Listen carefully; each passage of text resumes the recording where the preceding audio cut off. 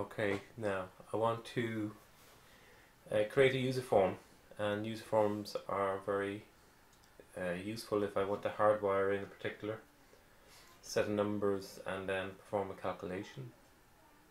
And to see how that works, go to Developer, uh, Visual Basic, and the Visual Basic editor comes up, and we insert a user form, and we have the toolkit, and we use three labels.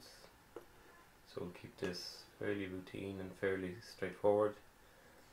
Label 1, label 2, and I'm just dragging, holding, and releasing the left uh, button on the mouse. And we change the caption on each of these by coming down here on the left the property view and changing the first one to simply A, the second one to simply B, and the third one to simply C. And we can control that in the caption or in the label box. And then we bring over three text boxes, two which will be data inputs, and the third one where we perform a calculation.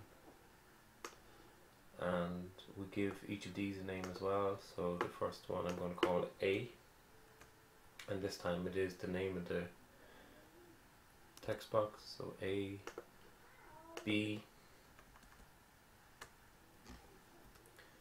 and C.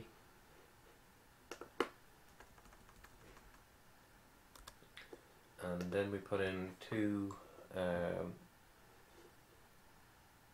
command buttons and one for quit and one to perform a calculation and we can change the caption here as well to quit Q-U-I-T and we change the command button here the caption to multiply.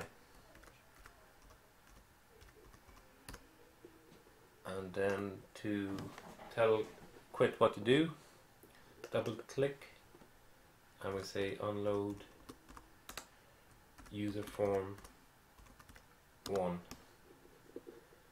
and go back to the user form. Uh, multiply. We will just from the text box names uh, tell C what we want to be calculated. So C is equal to A multiplied by B. And go back to the user form. And then go back to the spreadsheet.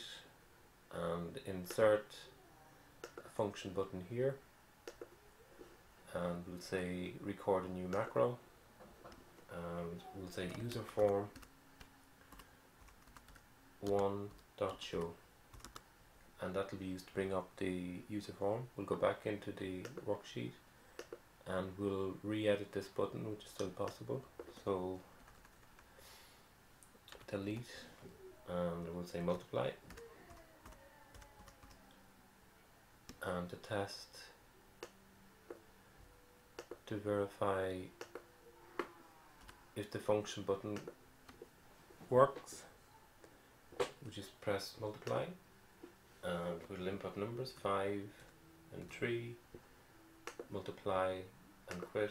So our user form work, works extremely well